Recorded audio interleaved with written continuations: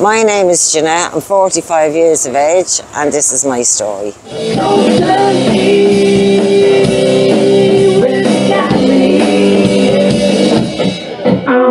The basic story is I wanted to hang around with the in crowd. I smoked weed from I was 14 and drank. I was an apprentice hairdresser, so I was the only one who got served in off licenses because I wore makeup and good clothes because I worked for Peter Mark. Yeah, um, I did as well. hard work, yeah, hard work. And here we are. And I ended up on drugs from 17 till 20 and living in Clondalkin back then, to go on drugs, it meant you got to sit in a house with a fire lighting. And if you weren't on drugs, you got to stand on the street. So that's the reason I went on drugs. Plus to follow the big boys around. Sure. What's your situation at the moment? My situation at the moment is I'm homeless since 2015. I bought a house in 2005. I had four children. I met a lovely fella. He worked every day, but he wouldn't come home from work. It was the coke epidemic, the snorting, and he would go gambling on a Thursday and he wouldn't come home on a Tuesday. I had four children for him. I have a 21 year old, a 17 year old, and an 11 and 12 year old. Um, the house that he's still living in the house with the kids. Thank God we never lost the house. Um, I've never signed over to him because when I die, my kids will get me house. He asked me a year ago to if he, there's 12 years between us. If I was, if he needed to buy me out, he'd have to remortgage because the bank won't give him a remortgage at 55. And I said I will never take food out of my kids' mouths. So that's that's. Uh, so uh, unfortunately, I wasn't allowed to see the kids up until this year because I was manically using. But now I'm just literally on methadone. So basically, you guys split up when, like? In 2015. In 2015. I went back using heroin for three years secretly. And my family came around, I was seven stone ten, my sister and my mother, and bawled and said, "You know, you either have AIDS or cancer, tell us the truth. And I swear to God, it would have been easier to tell them I had AIDS. I told him. well, it was just the wailing. When I told him it was her, when it was the wailing. They knew we were going back to them three years. I was from 17 to 20. They asked me, was I prepared to bring my kids through that? And that's the day I decided to walk away. So, so Jeanette, just, Jeanette, yeah. Uh, just one question on that. So your relapse started on 2015? No, it would have started in say 2000 and uh, 2011 and I kept it a secret till 15. so when it came out, I had an uncle who was clean and he advised her when I went on her, or methadone, I went on methadone at 35. It was the worst thing I ever done. So I joined Soilse in January. They told me it'd take a year to get me into Cuan Dara. People that don't know, Soilse is a Soilse is a day programme, but they also have six beds in Cuan Dara. They told me they told me it'd take a year to get into a bed. I started on the 3rd of January. I was in a bed in Cuan Dara on the 17th of March. I walked that hard. So I got into Soilse. When I got out, I was lost. I, I didn't know how to control feelings, the whole lot. I ended up I had an affair. I ended up getting back with a fella I went out with when I was 17 who robbed houses. He was only out of jail five minutes after doing a 15 year stretch and it was the excitement. I wasn't doing drugs with him, I was still clean. Yeah. I was off the methadone, but it was the excitement and a photograph was taken the two of us walking up the road and I was found out. So I had to leave my house that day but I wasn't prepared to bring my what kids down. that, that, was in 2015 you had to you and the husband split up then. Maybe split up yeah yeah. There. so uh, how was your drug addiction? Was at a peak? I was no, I was kind of smoking one to three bags a day, whatever I could get my hands yeah. on. Plus, I was always independent. I always walked. Uh, I walked into the fines office in Dublin Castle. I worked in Allianz. I always had good jobs. I worked in insurance brokers after I left hairdressing. So I always had a fairly good steady income, and I always had money left over. So it wasn't that I had to rob Peter to pay Paul. I always had the money to cover my drug addiction. Yes. It was just when I went haywire that's when I got found so, out. what's your situation now? Where the situation now, I'm in I'm in the Portobello now, right? Now what's that for and those that don't know? The Portobello is a hotel. It's a really upper class hotel. I remember. Oh, open Porto, open Portobello. On Portobello Bridge. Yeah, Social had me there, so they're pa- paying the rent. Yeah. Yeah. In the sense that yeah. it's yeah, yeah. it's uh, but at least you have a room and yeah you have a nice. For I met my daughter was 21 on the 20th of uh, April, And I met the father and my kids on the 24th and we went for dinner and he said it's the first time in 10 years that he's seen me looking half normal. And it was a pleasure. And there was no mud slung, there was no nothing. It was just about the kids and it was just about building our relationship. It's not about getting back together. If we can build our relationship, How are you managing at the moment? how am I You're managing? in this hotel. How am I managing? Yeah, you- on a payday, on, pay, on a payday, I'm strung out. Every other day, no, I'm just fucking trying to live day by day. take methadone then? I get methadone. I'm on 80 mils of methadone daily. Um, it's the tablets that are a fucker now. I seem to be buying four packets of tablets a, a week, but now I'm taking five a day. I'm not trying to. Five a day is still not good, but uh, that's what I need to hold me. It's better than smoking crack or smoking heroin. Do you know Yes, what I mean? yeah, I but um, it was great being able to hand the father of my kids me urines to say that I haven't been Show smoking urine. Yeah.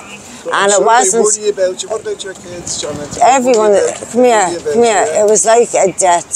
They said the day i walked out was like a, a grieving process started. And it was like they'll never get over me. They'll never. And like it's so sad you know? And i was a fantastic house mother. I just didn't want to be a kept woman. I always had my independence. When i had my fourth child he would not let me tax my car.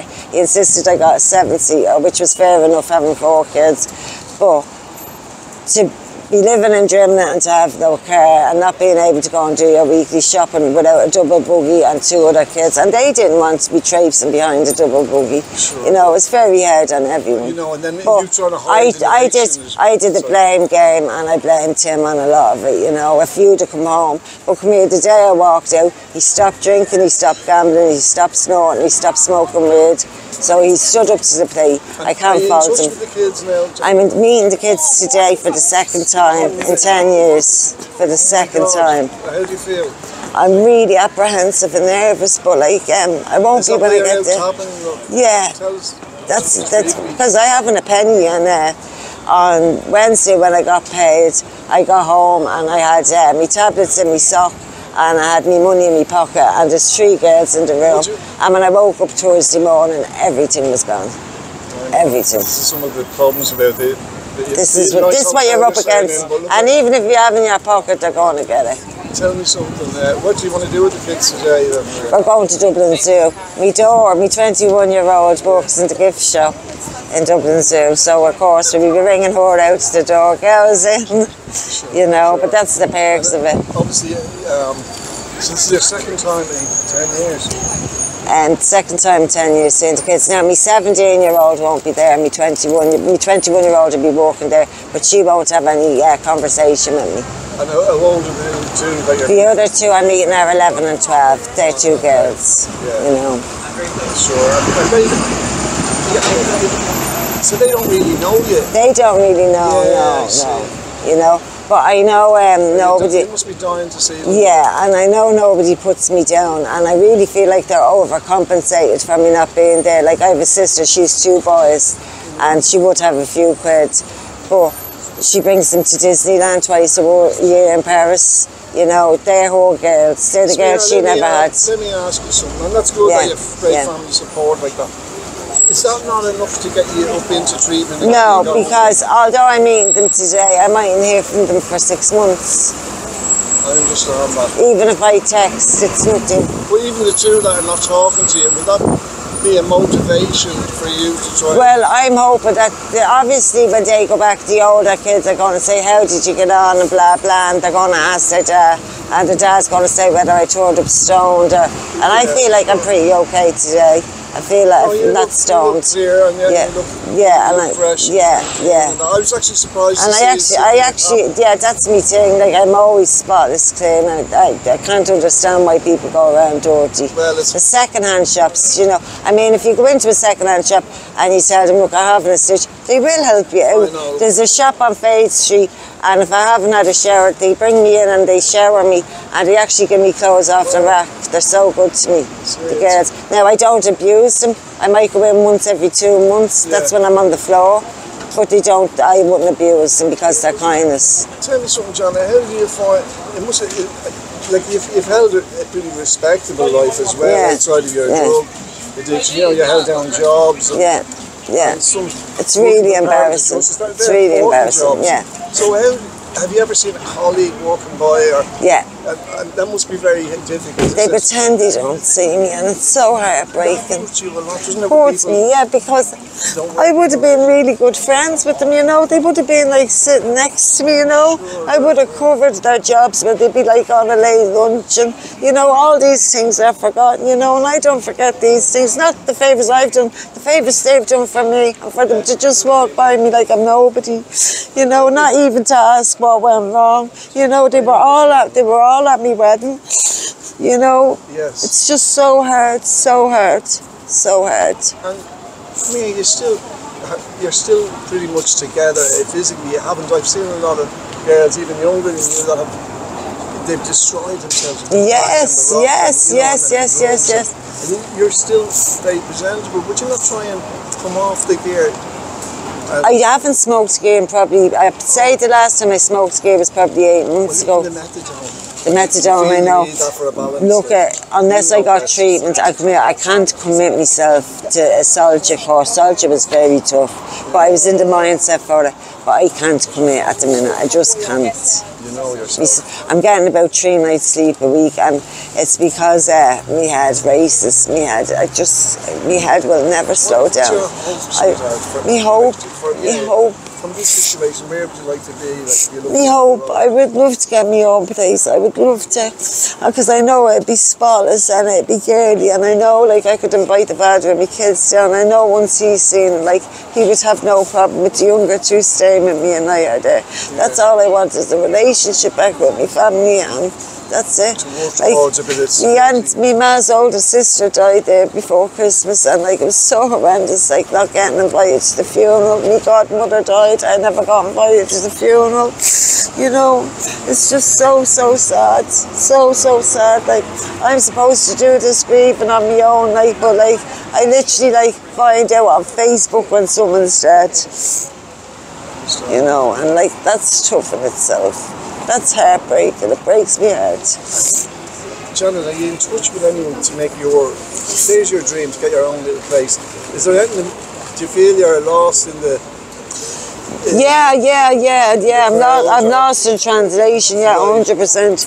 But um, I'm not out there seeking help either because I just find like That's why you're anyone that's tried to help me has told me the same old fucking story, and like I've been there, done that, and like you know, stupid things like uh, post your labour card back to so, and I can't because I need me labour on a Wednesday. How can I post it to myself on a Tuesday and hold out Thursday? I need it on a Wednesday.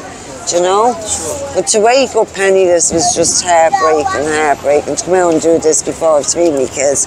It's not nice, and I don't like sitting here. I don't like it. It's Well, you embarrassing. No, but it's embarrassing. It is embarrassing. I get that, I, I get that. You know. It's, it's, it's, it is hard. And funny, uh, when I stopped to talk to you earlier, and you said thank you so much for acknowledging me. No, it And I means thought- the world. And I thought, oh my God. But people walk by you so much. Like there could be 20 people walk by and one person said, "Oh, and that means the world." Even if it's not to hand you money, just to say I haven't got it means the world to me. Oh, amazing. You know, and that's what I, I stopped to say, sorry, have no chair. No, and like, yeah, yeah, yeah, yeah, yeah. Then we started talking, Yeah. we're doing this, but uh, John, I see an articulate, intelligent. I am, woman there, and I've so know. much to give. I've so Yeah, much to give. To me, uh, And I've so much love to give, you know, and drugs, drugs were to be all and end all of it all. But no, I'm done, I'm done, I've had enough. I've had enough. You know, I'm 45 now, I've just, I've had enough. Like my uncle, he was clean when, when I started and he got me on the methadone.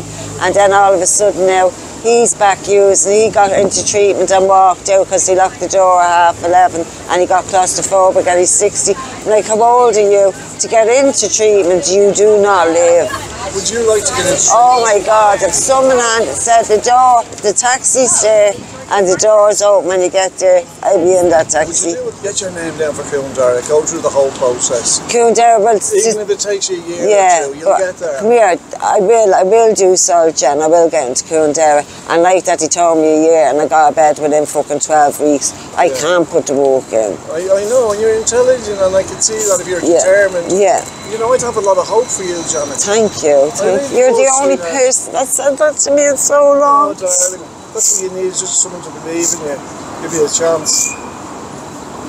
Bless you. It's so hard. It's just so hard. Will you keep trying though? I am going to, yeah. Janet, the only reason I'm sitting in front of you is I never gave up trying. Yeah. I chronic heroin. Really? Chronic. I'm 40 years on heroin. HIV, 40 years. I mean, I mean, I was out there on the street. I never thought I'd be Really? 40. Really? 60 or 60. And you know what? I thought I'd never, I thought, like, I remember when I was like nine and being able to count to 20 and saying, I'll never get to 20 because it seemed like so many numbers Do I believe in you. Do you? I do. I don't know why I only met you, but I Really, believe in you. really? Yes. Well, as they say, there's a reason or a season, Paul. I'm glad I met you. I'm glad I met and you. come here, there's, gonna give you my number. there's some ever need a people you shot. meet and like it's so sinister, like and there's people that walk by and they're like, um, you, you looking for business and it's so degrading. Oh, like there's two women standing there one day and I said, Did you hear what this man said to me? And he stood there. I said, He's looking for me to give him business and they chased him away now. These women like were in their fifties and sixties, but they were so horrified. I had to tell someone you're in such a because it's so vulnerable unbelievable that know. that these these. Turkish fellas think that they can just walk up to a girl that's sitting tapping and she's nothing better They to think do. if she's to sit, they Oh, yeah. think if she sits and talks on the street, she'll do anything for a few quid. And that's their mentality. Yeah, yeah. Well, thank a God, thank God, it's never brought me to No, that. thank Thank God, God. thank God, thank God. Well, Johnny, listen, uh, for two things. First of all, I hope you have a great day with your kids today. Thank you. I really do. And I hope it, and don't be anxious about it. Uh, you know, you'll be able to take me in and get them. Yeah, yeah, yeah, yeah, yeah, yeah. You know, I hope you have a great day with your kids. And the second is, uh, thank you so much for talking to me and for being so honest and open. Um, Thanks for letting me cry, because mad to say if you didn't cry, there'd be something wrong, and it's took me so long to cry. Because I'd be just told me, and like when you're in hospice, you just try and be like the hard person, like, and you put this persona out, like, no one do anything on me. But like, it's just, it's great to be it vulnerable. It's, Yes. it's great to be able to be vulnerable with you. especially for someone like you that has to try and not be vulnerable a lot of the time. And thank you for being vulnerable with me and sharing Thank that. you. Thanks, thanks for listening to me because sometimes I feel like, oh, this person's after sitting down here. they am off. Like they bet they can't rate to one, but no, thanks, Paul. What you Paul. have to say is very important because you're suffering, sweetheart. Thanks, and, uh, Paul. You're suffering and Thanks for validating because sometimes you feel like you're going mad, and sometimes it's very like you brought all this on yourself. You've no one to blame but yourself, but you know yourself how it happens. You know. Worry about that. You're going to be all right, Janet, but you got to put the effort. in. I know, I know, and I'm in a really good place at the minute. And I actually said if I'm going to do it, that's where I'm going to do it. Like it's a hotel, it's not scruffy, it's spotless. I have an ensuite, you know. Look, I'll be always around town. You see me, just phone me. Yeah, And um, listen, I wish you the, I wish you the best. with this. Thanks, And Paul. again, thank you for being honest. thank you, thank you. Well, guys, you know the city, Dublin, it's full of heartbroken people. Be kind. Life is short. It's T for Culture.